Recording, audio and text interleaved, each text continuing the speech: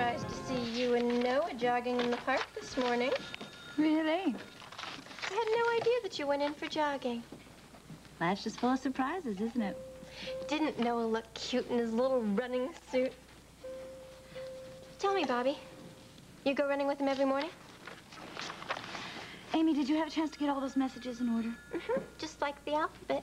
A, B, C, I know D, the alphabet, Amy. You know, Drake makes such a nice last name. It goes with just about everything. You know, it would make a great double last name. Kind of like Summers Drake, or even Spencer Drake. Kind of like one of the names out of an old Gothic novel. So many single Amy, women today like... Would you answer the phone, please? Well, I was just about to. Main desk, Miss Vining. Noah, what's the matter? Uh, yeah, I think I overdid it. Okay. What happened? You weren't limping when we left the park. I thought yeah, you I were know. kidding. Oh, I hurt my ankle. I know. Guess I'm a little out of condition. Okay, bye-bye. Did you have somebody look at it? Hello, Noah. Oh, hi, Amy. What happened to your leg? Ah, it's no big deal. No. Well, listen, um, why don't you go for some therapy? There's the orthopedic pool on the third floor. Huh? Wait a second, wait a second. I have a much better idea, honestly. Yesterday, in Mrs. Hardy's class, we learned about giving alcohol rubs. And I could do a lot for a sore leg with an alcohol rub. Oh, thanks, Amy. I don't think so. Are you sure? You'll never know until you try. Listen, kiddo, you could lose your nursing license before you ever get it with dialogue like that. Lesley, I didn't mean anything like that. We know, Amy. I am so misunderstood. Can't win, Amy. Stick to the textbooks for a while. Oh, Noah, you're a man of common sense. All I was trying to do was... uh, Never mind what you were trying to do. Just tell me if I have any messages. They would be under the W, Amy. just one. It's from Laura, and she would like to know if you and Rick will join her for lunch. How very nice. Oh, thank you, Marcy. I'm checking out for lunch. Just in time to help me devise a therapy program for my foot. foot. Keep your eye on those textbooks. Oh!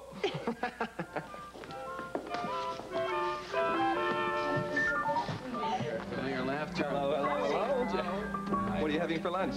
We're all being very good. Crab meat salad. Oh. Well, as good physicians, we have to practice what we preach. Well, yes, you're right, but I'm in the mood for something lavish and loaded with calories. How about some lobster and cream sauce? Let's do it. Have a tea. Have a good one. Jill. You too. Cute to see Bobbie with Noah. She seems to be having so much fun. She seemed so lost and lonely after Roy died. I'm glad that she's happy now. You're right. Noah's turning out to be a fine doctor as well. Yeah, that's Really good. is. Um, yeah, I, I agree. It's, uh, Bobbie hasn't had an easy life. She certainly deserves all the happiness she can find. You by any chance thinking about another member of the Spencer family right now? Of course I am. It's just, I, I see Bobbie and Noah, and I just, I just wondered if uh, Luke and I would ever have that kind of easy, carefree time together. Laura, you know that your mom and I want nothing but happiness for you. Yeah, I know. I know. I love you for it. I wish wanting it meant we could give it to you on a platter. Amen. I wouldn't want it that way. Look, I know that you have never been overly fond of Luke. That's not true. I like Luke. Well, the problem is we just don't know him well enough. That's all. We don't get a chance to. He's never around. Thank you. Yeah, I know. I, I guess I forget sometimes that most of my time with him has been spent outside of Port Charles. Mm, well, last summer certainly was. Tell me something I've often wondered. Do you think about Beecher's Corners a lot? Yes, I do. Quite a lot. You know, so much happened to Luke and me last summer. Yes, it sure did. You know, when I think about all the changes that I've gone through in the past year, I, I can't believe it, really. I was really just uh, a kid when I ran away with Luke. Oh, I'm glad I never said that. yeah, you're lucky, too, because I wouldn't have listened to you. I was very, very stubborn. Laura, as your father, you have to realize that I would be concerned about a man who took my daughter gallivanting all over the countryside, that no matter how exciting the uh, escapades may have been. Dad, listen.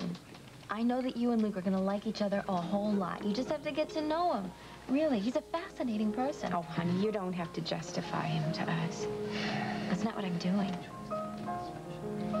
I just want you to understand that he is the only man for me. Funny how I guessed that. Well, I can accept that part of it, but I got some unanswered questions. Like what? Like, where is he? What happened at the auction? Did he take the statue? I mean, that is behavior that I would say was slightly out of the ordinary, wouldn't you? Oh, that's for sure. Okay. Do you know what was going on at the auction? No. No, I don't really. All I do know is that Luke is working for the Quartermaines, and whatever happened at that auction, it had to do with them. It's a little vague as far as I'm concerned. I know it is, but it's gonna drive me crazy trying to figure it out. Now, right now, I just have to trust Luke. And all I do know is that I love him. I can accept that working for the Quartermaines is not going to be ever your ordinary run-of-the-mill kind of job. I wonder about that, you know, for your future, yours and Luke's. Like, where is he now that he's disappeared? Is he on some sort of mysterious uh, um, errand for the Quartermaines? You can't live on love, honey. Now, Luke's got to work. Is that what you or he wants for his career, his future? Look, I don't have any answers. I really don't. All I know is that Luke is missing right now, and I have to find him. How are you going to do that? Actually, I do have a plan. And that's that's really why I asked you to have lunch with me. Oh, is there something we can do to help? No. no. You can uh, you can give me a lot of moral support. Got it.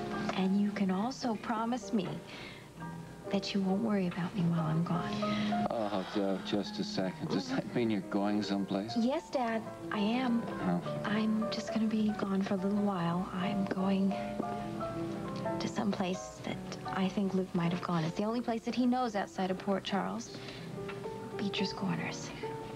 And I know that if you were in some kind of trouble, that's the place he would go. I just know it. What kind of trouble could he be in, Laura?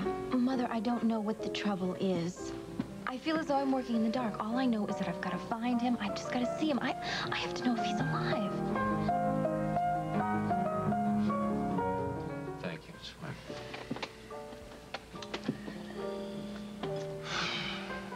What does she mean she's got to find out if he's still alive?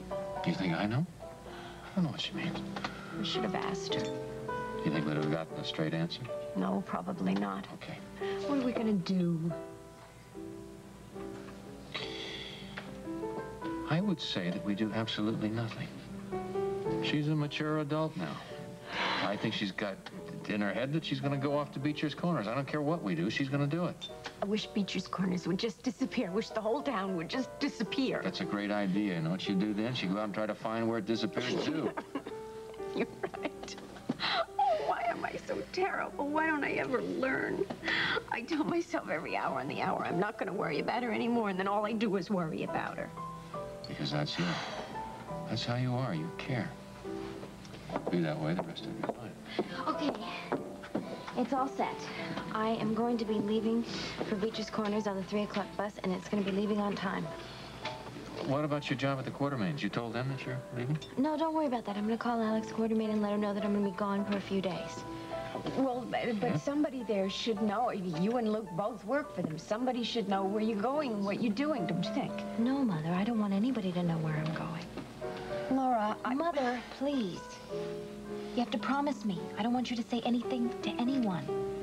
I don't want anybody to know where I am. Now, will you promise me that you'll do that? If that's what you want. It is. Well, what about luggage? Uh, don't you have to go by your apartment? I already have a bag packed, and it's sitting in the cloakroom right now. A bag packed. Well, I guess there's nothing more we can do, is there?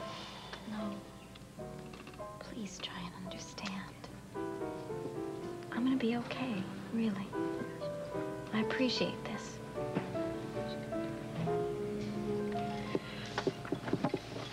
You'll call me. You gotta call me and let me know where you are this time. You promise me uh, that? Yes, I will. I, I've really got to be going now, okay? Yep. Don't worry. Oh, we never Fine. worry about you, Laura. Never. Yes, No. you do. Mm. Easy for you to say. It's because I don't mean I will it. Have fun. Yeah. Bill, Have a nice day. don't worry now. I'll be in touch. Have a nice bus ride. She says that to me once more. I don't believe this is happening. It just did. It's finished. It's done. Gone. She's She's... going off to somewhere to find the man she loves who may or may not be in trouble and who may or may not be alive. Well, that's about the extent of the facts we know, yes. Well, I know one more thing. What is that? If anything happens to her, I wouldn't want to be Alex Quartermaine or anybody else who's involved.